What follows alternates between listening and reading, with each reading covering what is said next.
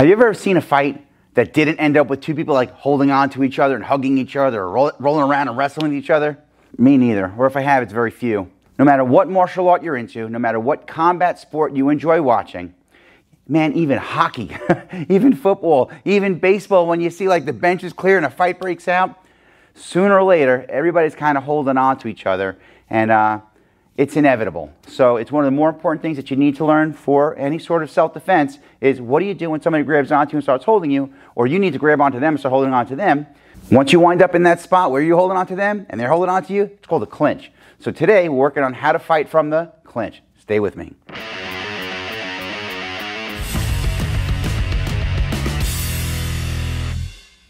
What's up, Warriors? It's Kyoshi Dave Herman with 5 Elements Tactical Training, here to share with you some warrior skills and drills that anyone can learn and everyone should know. If you're new to the channel, welcome and thanks for stopping by. If you already follow us on social media and that's how you found your way over to this channel, go ahead and hit the subscribe button and the bell notification button and the little thing where it says all notifications so YouTube will let you know when the next video drops and you get all sorts of cool content from here as well. All right, so the next installment in our Self-Defense 101 series is fighting from the clinch. And we're not doing any techniques today that you haven't learned in the other videos. So we did like a video on punching, a video on kicking, a video on stance and guard, uh, some knee strikes, some elbow strikes. And we covered pretty much all of the techniques, I think just about all of them, uh, that we're going to work on today. The concept today is whether it's like a bar fight, a playground fight, uh, pretty much any fight when you get too close or you get kind of fatigued, and you even watch professional martial artists, professional fighters, when they get fatigued and they get in close, they're going to kind of hold on to each other to one, catch their breath, which it's a useful tool for that. Um, or they come in for that clinch because they're fixing to pick you up and slam you on your head or worse. So the clinch is when two people just wind up holding on to each other. Maybe it's with one hand, maybe it's with both hands. They might be grabbing each other by the clothing, they might be grabbing each other by the hair, they might be grabbing each other by their jacket or their hood or their jersey or whatever. The idea is anytime you're close enough and you're kind of using your hands to hold on to them instead of cracking them, you're in the clinch. If you're holding on to them for balance, you're in the clinch. You're holding on to them to catch your breath, you're in the clinch. In a clinch, just like we went over fighting stances and horse stances and, and like different ways in a fight, do this first. I hope you saw that video. If you didn't watch that, check that out. Um, the different types of stances you'll find yourself in. So if you just stand upright and hold on to somebody or stand upright when they're holding on to you, you're very easy to topple. You're very easy to pick up and fling or throw.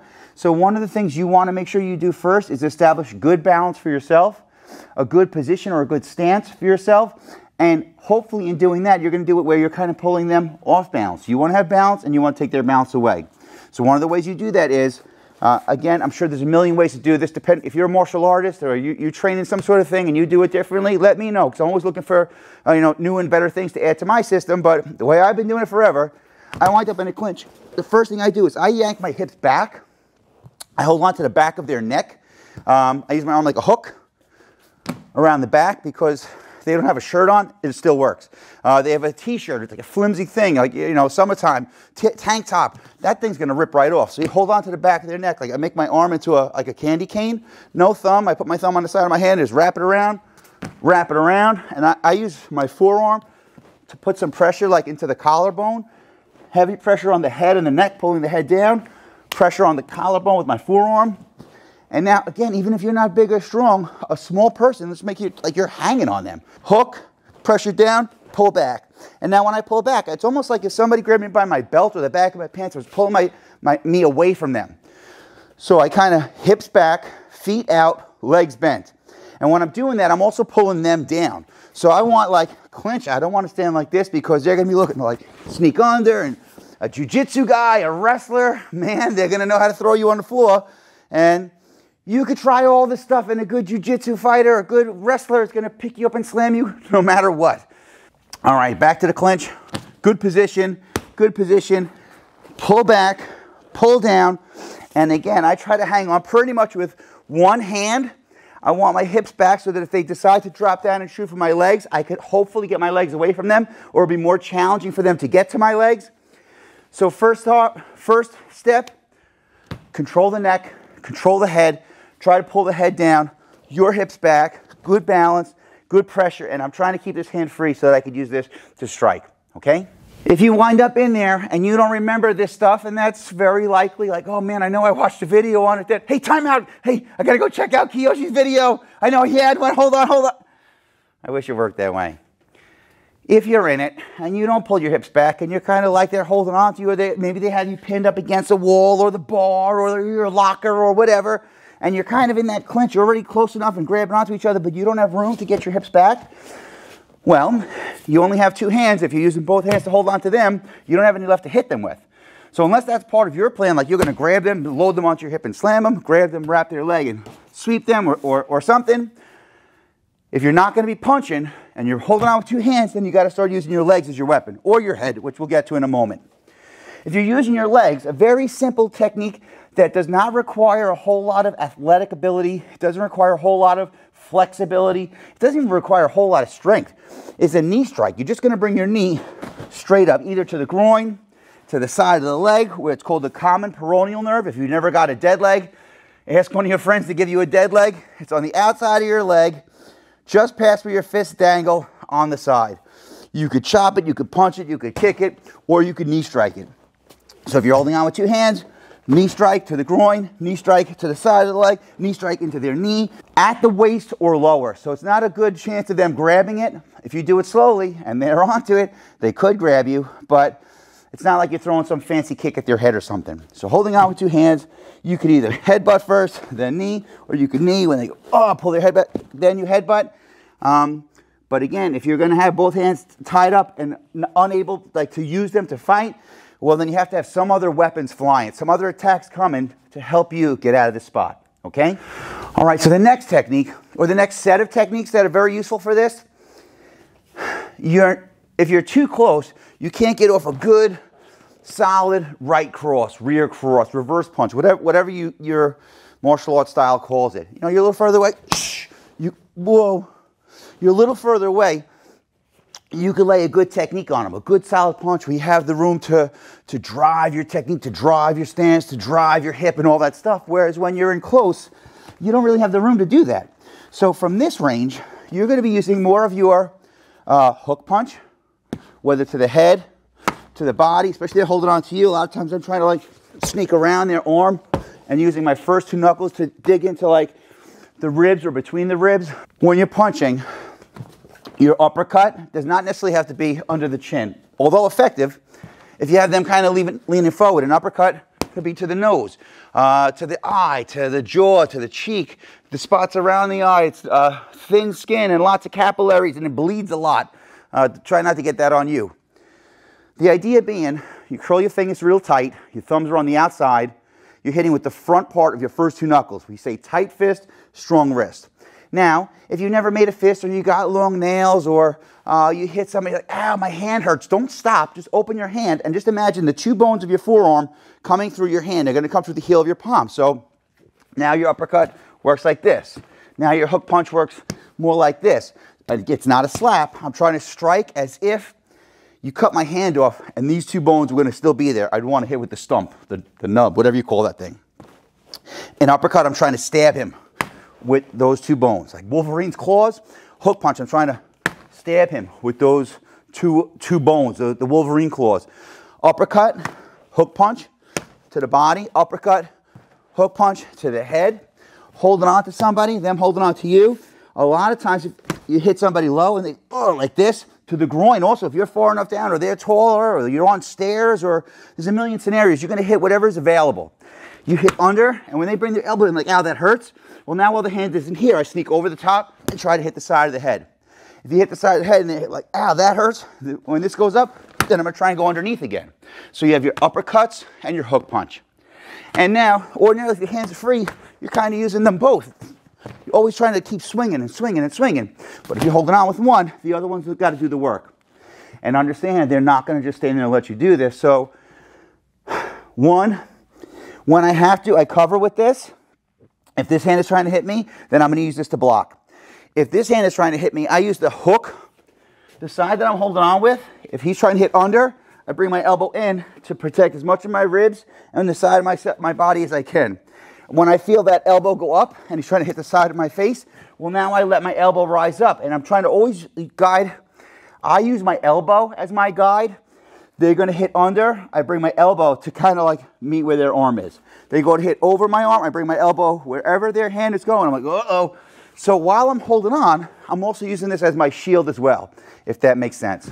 Now the next one is your elbow strike. And elbows are fierce, man. They're like a knee strike doesn't require a whole lot of athletic ability, but it's super powerful when you use it. An elbow strike is the same way, provided you're using the correct part of your elbow.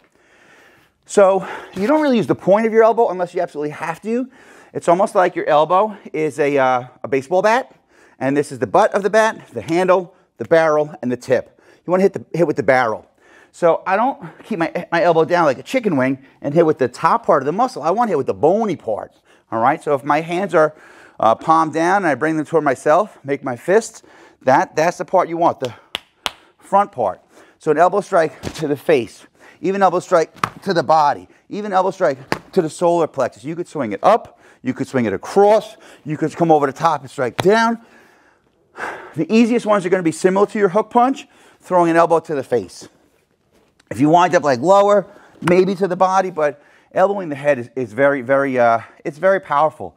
If you have a heavy bag at your gym or at your house or at a friend's house or neighbor's house and you have an opportunity to try some of this stuff, do it. Or go on Amazon and get one of these bags sent to your house. I don't work for any of these companies, but it's a great tool. You want to work out, set your clock for, for one minute, your timer for one minute, just wail on the thing and you're going to be like, oh my God, it is work. All right? So, quick review. We have our knee strike. We have our uppercuts, either to the body or to the head. You have your hook punch either to the body or to the head. So the last one is a headbutt. And the question always comes up, doesn't a headbutt hurt you? Well, I guess a little bit, but it's gonna hurt the other guy way more, right? So just imagine getting hit in the face with a bowling ball, right? That, that's like a terrible thought. Like, um, like if you were laying on the ground and someone dropped the bowling ball in your head, terrible. Your head is the bowling ball. Now the trick is making sure that you hit with the correct part of your head and ideally hitting the correct part of their head or whatever. So your forehead is relatively flat compared to the rest of your skull, right? So right where your forehead ends and it starts to curve like to like your hairline right around there, that's your frontal bone. When you're first born, your skull has like six parts to it. Six parts? Something like that. Anyway, the frontal bone is the hardest part of your skull. Like it's very like uh, again, if I'm using the wrong words, excuse me, but like the, the convex, convex shape of it, hit with the front. the idea is tuck your chin and you want to hit the nose, the eye socket, the cheek, the ear. I use my head when, when, when I fight full contact, uh, in sparring or whatever, wrestling, grappling, all of it. I try to use my head almost like to grind on their ear, on their head, on their face, like it's almost like a noogie. That, they still use that word? A noogie? But I use my head like to grind into them. Now, using your head for pressure when we're using pressure points, very effective. Using your head for like pressure when you're trying to like, we're rolling around on the ground, and we'll get the videos on that also, very effective. But holding on to somebody like, and you just, a headbutt is not with your neck, headbutt is with your whole body. So just like you don't let your wrist be floppy when you throw a punch, you clench your fist, tight fist, strong wrist. Well, when you're going to do a headbutt, I make my neck tight, my chin down, and my headbutt comes from the waist. So I kind of lean back and drive my head unicorn horn through their face. That's the best way to describe it. And you, if you're on the ground, which again, we'll have videos on that, I use headbutts to their chest, their solar plexus, their sternum, all those areas. It's a, it's a weapon. Like it's, and it's, it hurts. Does it hurt you? A little bit. Does it hurt them a lot? Yes. So it's a little bit scary, and I don't recommend you go start smashing your head into a heavy bag unless you're into that. But uh, it is definitely part of your in close fighting, close quarter battle, close quarter combat, clinch fighting. So in this range, again, we have our knee strikes. You have things where like heel stomps or stomp to the knees and, and stuff like that. But again, those are a little bit more challenging, a little bit more advanced. So for my beginners and my basic uh, self-defense courses, my beginner basic defensive tactic stuff, I don't even go there. We stick to knee strikes. We stick to uppercut, hook punch, elbow strike, headbutt. And those, if you could just learn those, was that five of them? One, two, three, four, five of them. Man, you stick to those basics and you'll be good to go, all right?